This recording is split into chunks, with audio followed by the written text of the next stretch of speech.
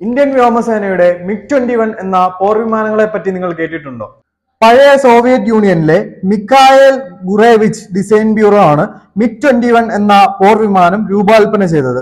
ആയിരത്തി തൊള്ളായിരത്തി അൻപത്തി ഒൻപത് മുതൽ ഇന്ത്യൻ വ്യോമസേനയുടെ ഭാഗമാണ് ഈ പോർവിമാനം വ്യോമയാന ചരിത്രത്തിൽ ഏറ്റവും കൂടുതൽ നിർമ്മിക്കപ്പെട്ട യുദ്ധവിമാനം കൂടിയാണിത്. എന്നാൽ ഇന്ത്യൻ വ്യോമസേന ഈ യുദ്ധവിമാന ശ്രേണിയെ ഘട്ടം ഘട്ടമായി പിൻവലിച്ചുകൊണ്ടിരിക്കുകയാണ്.